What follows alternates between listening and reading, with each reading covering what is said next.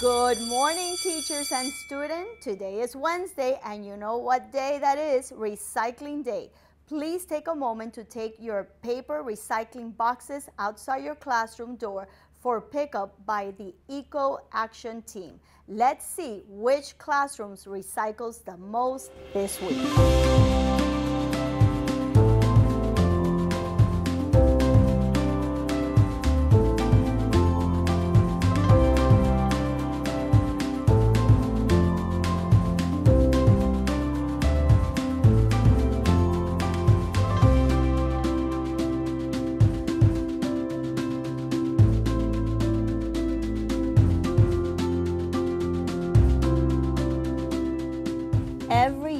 Millions and millions of tons of paper are wasted by schools and educational institutions.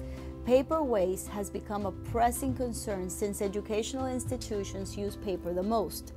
Royal Palm Elementary is part of the Miami-Dade County Public School District, the fourth largest district in the United States. And with 467 schools and more than 350,000 students, we realize that the impact of our actions is very significant to South Florida and the world. We understood that we needed to act now and implement a student-led paper and cardboard recycling program. Our goal is to show and hopefully inspire other schools that they can also start a successful recycling program that will have a positive impact not only in our community but in future generations. The school decided to register in the Eco School USA program, a sustainability education program led by the National Wildlife Federation. The program's seven step framework has proven the most effective and practical method to integrate STEAM curriculum with project based learning. The first thing we had to do to start a paper and cardboard recycling program was to figure out who was going to do it. A group that every year would change as students leave or enter the school. We created an Eco Action team formed by students from 4th and 5th grade. The team also has teachers and school staff. The second step was to conduct a consumption and waste audit to see what was our biggest waste and how we could reduce the garbage our schools produce. We shared the results with the school community and let them know what we already suspected, that most of our trash in our classroom is paper. Once we had the results of our trash audit, the Eco Action team got together with the lead Eco School teacher and the principal to create paper and cardboard recycling program that we could run ourselves without much adult supervision. Every Wednesday at 10.30 a.m., the Eco Action team starts a recycling round. We collect the box from a classroom, we weigh it, and we write down the number of pounds each classroom recycles every week. Every week, the principal announces which classroom recycled the most. We also check the boxes for contamination. And if we find the box that has been contaminated with other materials that are not paper or cardboard, we leave a warning note inside the box. Then we transfer all this data to a big bar graph in our Eco School bulletin board, which everyone can see and keep track of. And at the end of the school year, we announce how many tons of paper and cardboard we diverted from the landfill, the number of trees we saved, and the amount of CO2 captured from the atmosphere. First, we practice reducing our use of paper, and then we recycle. Last year, we recycled more than two tons of paper. You would be amazed how much small actions like these add up. If every school in the world would just recycle paper, it would make a huge impact on our atmosphere and planet.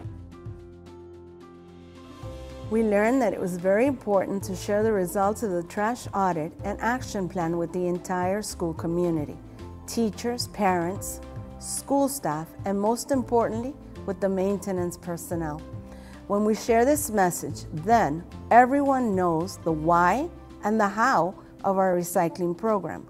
They participate and collaborate more, making it easier to recruit volunteers and helpers. This makes it much more fun for the students and it brings them a sense of pride.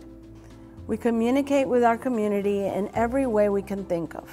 We use our schools, bulletin boards, school assemblies, morning and afternoon announcements, school website, social media, and my favorite, the one that provides a great opportunity for project-based learning and curriculum integration for the students is our ECO newsletter.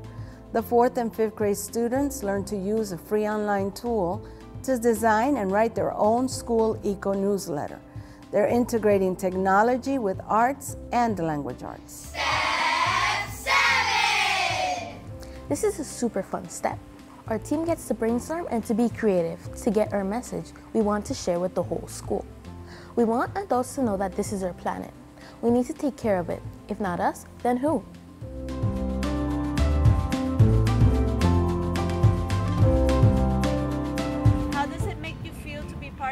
Recycling team at your school? It makes me feel good uh, helping the earth and other people.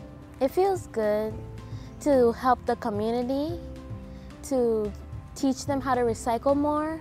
It makes me feel important because you have to have a, you have it's a big responsibility. We're saving the world, we're helping the world, we're helping our community. It makes me feel great because uh, I'm helping my school and it gets me out of stress because you're walking around and like picking up the bins from the recycling and then you weigh it and that's fun. It feels amazing because I'm making a difference in the world and saving nature's beauty. And I hope the recycling team also motivates other schools to do the same thing. We challenge you to take charge, organize an eco action team at your school, and start a recycling program today.